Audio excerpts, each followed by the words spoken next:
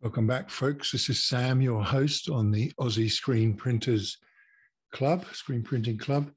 Uh, it's time for a tips and traps podcast. We do these as live videos sometimes on our YouTube channel, and they're just simple, short tips and traps, um, technologies, um, practices, and so on concerning screen printing to help people as they get going. And today, I thought I'd talk about film positives, the creation of film positives that you need to output to burn a screen in the traditional way.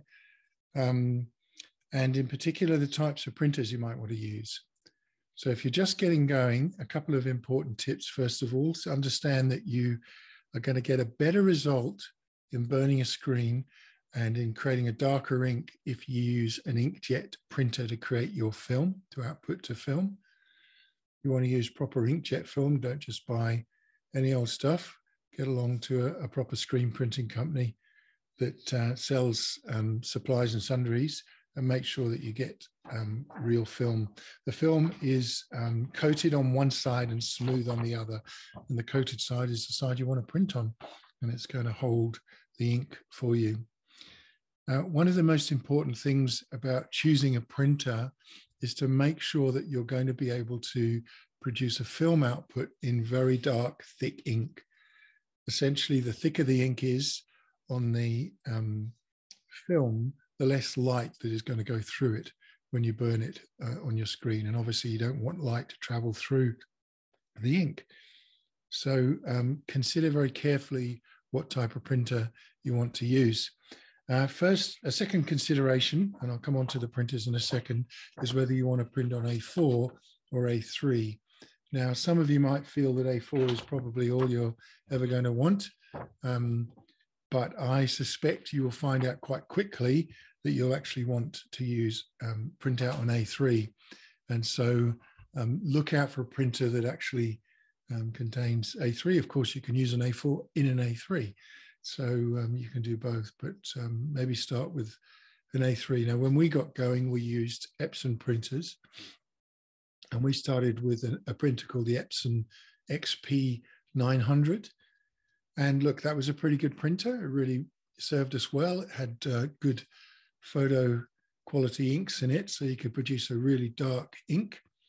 Um, but it didn't. It wasn't really kind of durable enough for the kind of volume of inks that we were uh, putting through, of, of prints that we were putting through. So we needed something a little bit more robust. And so we upgraded from that to the Epson XP 15000. And that was a lot more robust, um, but it had limitations in terms of the types of um, separations that we use. We do a fair amount of simulated process um, printing.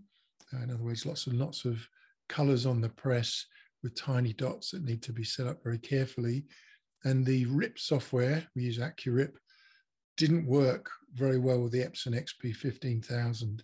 Um, so we then upgraded from that to what has, I think, become something of an industry standard um, inkjet printer, which is the Canon IX 6860. Now, this is a really nice printer. It's pretty cheap, first of all. Um, it works perfectly. We've never had any problems with ours. And it takes obviously the, the wide format A3 as well as A4. And it prints really quickly. And you can get a really dark layer um, of ink laid down onto the actual uh, film. So it produces a really nice uh, screen when you go to burn it. I recommend that uh, printer um, for people starting out.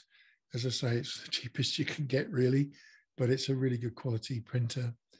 Now, in some cases, um, we have customers, and many people have customers that require print that's bigger than an A3. Um, and so we also print to A2, which is twice the size of an A3 for certain types of prints. So where you just have a wide print that's not very deep. Um, you are going to be able to use an A3 horizontally to create your print. But if you've got a wide print that is very deep as well, you're going to struggle to get that on a single A3. And some people print it out in two and then they kind of sellotape them together and so on. In the case of those types of prints for us, we use a wide format printer.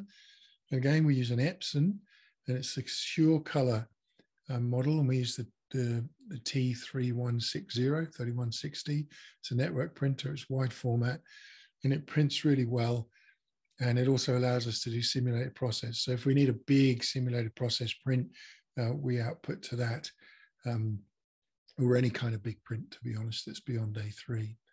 So those are the, the printers that we use. Um, take your time researching them. Uh, as I say, make sure you get something that's at least A3.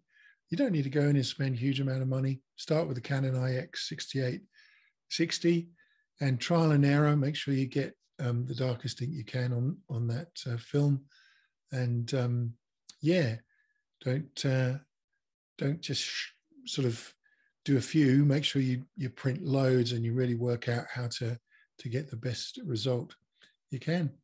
Well, that's the end of this tips and traps session. Thanks for watching.